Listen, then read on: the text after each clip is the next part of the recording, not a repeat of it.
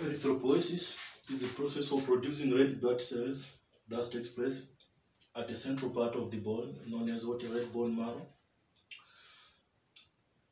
Uh, red blood cells are very crucial in transporting of respiratory gases, mostly oxygen and carbon dioxide, reversibly between the lungs and the- our body tissues, between the lungs of our body tissue or human beings, as well as vertebrates, as well as what vertebrates. So this is important of red blood cell, the product of red blood cell or uh, erythrocytes.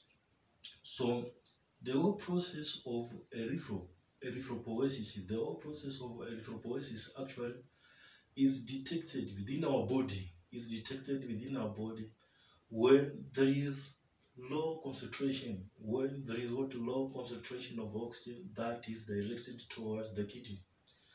When there is low concentration or when there is what decreased blood oxygen, the condition known as what hypo, hypoxia, the condition known as what hypoxia. So once the concentration of oxygen is decreased within the kidney, within the kidney, the kidney is going to detect this low concentration of oxygen, especially at this portion of nephron between the margin of Bowman's capsule and the distal convoluted tube or DCT.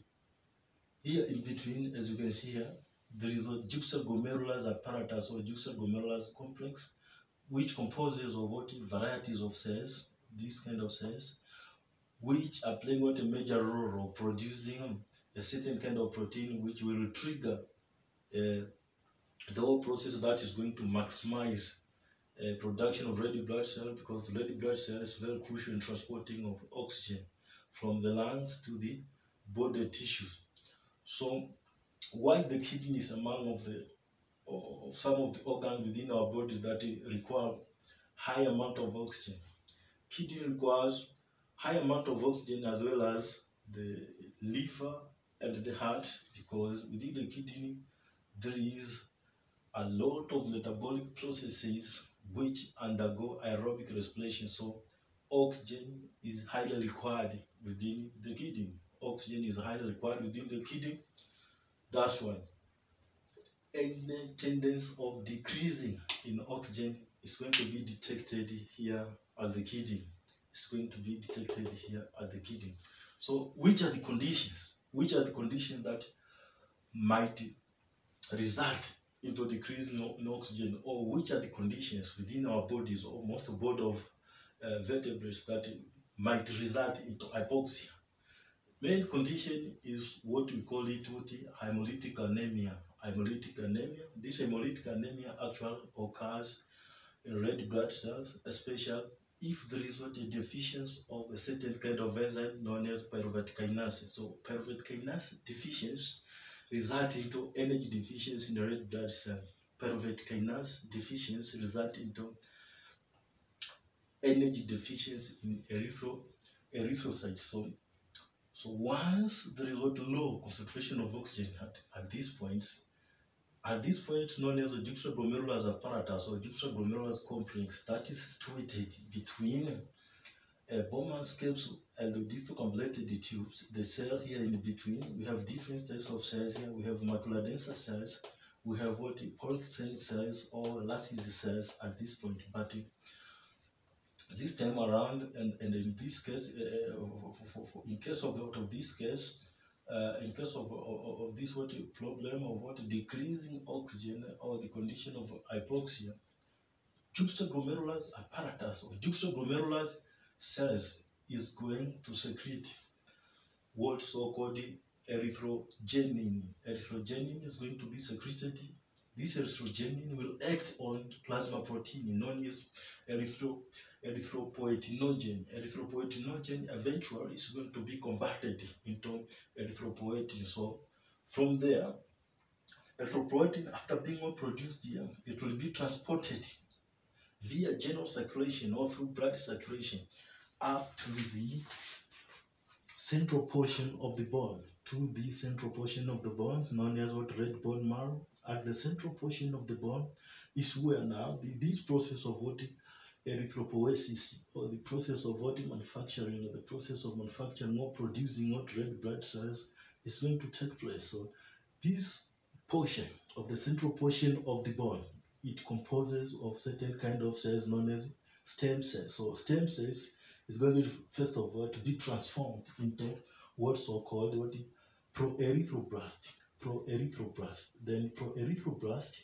which is large in terms of size, is very large in terms of size. One proerythroblast is going to produce approximately 16 erythrocytes or 16 what red blood cells. So this is large in terms of size because this possesses nuclei. It possesses nuclei. So at the early stage of formation of erythrocytes, nuclear is present. Nuclear is present, but we know that the mature red blood cell or erythrocytes has no nuclear, has no nuclear to make sure that the surface area for care mostly uh, these polype- four polypeptide chains, which each one is what is associated with what high, high with reduced iron, which is very important in transporting what oxygen or for, car- for carrying what oxygen from the lungs to the respiring tissues from different parts of our body. So at this stage of proerythroblast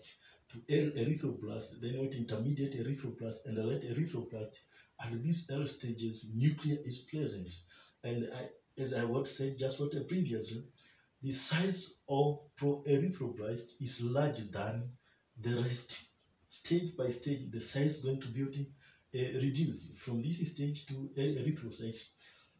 At erythrocytes, at erythroblast, at erythroblast, actually, the number of ribosomes is going to be increased. The number of ribosomes is going to be increased because there is what maximum protein synthesis, maximum rate of what protein synthesis at this stage. Why maximum rate of protein synthesis? Because large amount or large amount of what of protein, large amount of amino acids are going to be joined to form four polypeptide chains. So each polypeptide chains also is going to associate with the high. That's why the whole process, the whole process of transforming to erythroblast to erythroblast, then intermediate erythroblast, then to red erythroblast, we need mostly vitamin B6 and vitamin B12, as well as what the folate or folate or folic acids, because these folic acids and the folates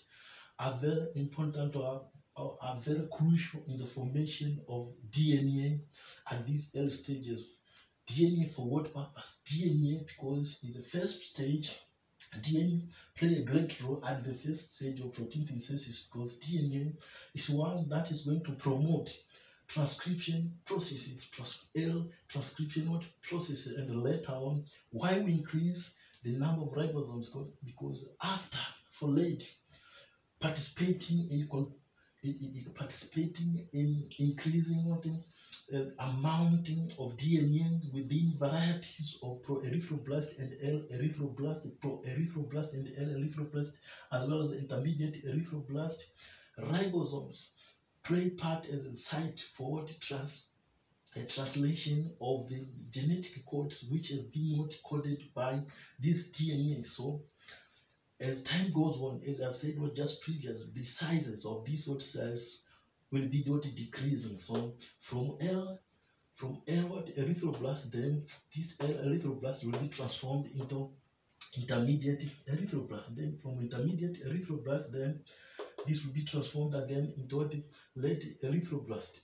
Late what erythroblast, then from late what erythroblast, then this late erythroblast will be what transformed into reticulocytes. So then from reticulocytes, the nucleus which was present at the prenatal stage will be what extruded out, will be what expelled out. Then after being what expelled out, macrophage type of white blood cell will engulf.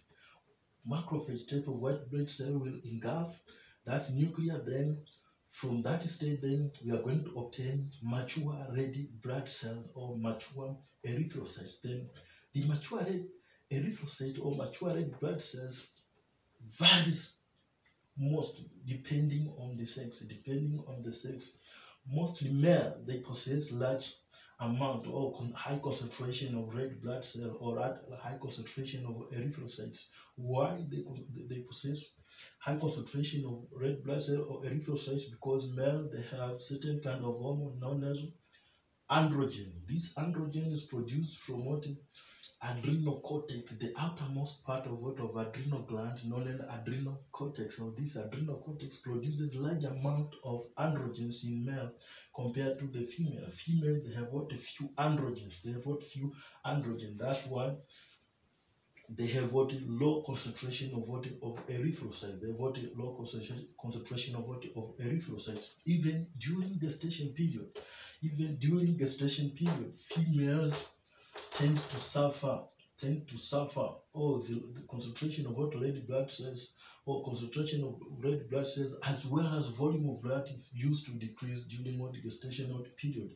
Not only that, another indication which show that male they possess high concentration of erythrocytes is that in case of lifespan of what erythrocytes, in case of what lifespan of erythrocytes, male a lifespan of erythrocytes in male is approximately 120 days, while in females 110 days. This shows how androgen, which is concentrated in male, play a great role in the process of, in the process of erythro, erythropoiesis, in the process of what erythropoiesis. Then from there, it means that the number of red blood cells from what red bone marrow at the central part of what of the bone, then it will be increased.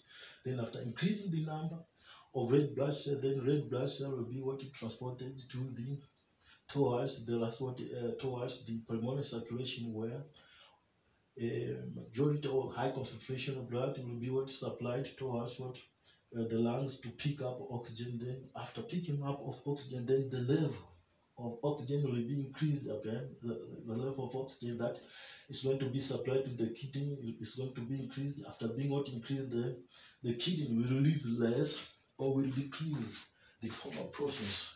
Here, the former process where um, where erythrogenin will be decreased and then the process of what activating plasma protein, which is what erythropoietinogen will be decreased as we increase what as we are going to, to decrease erythropoietinogen, then eventually erythropoietin will be what decreased.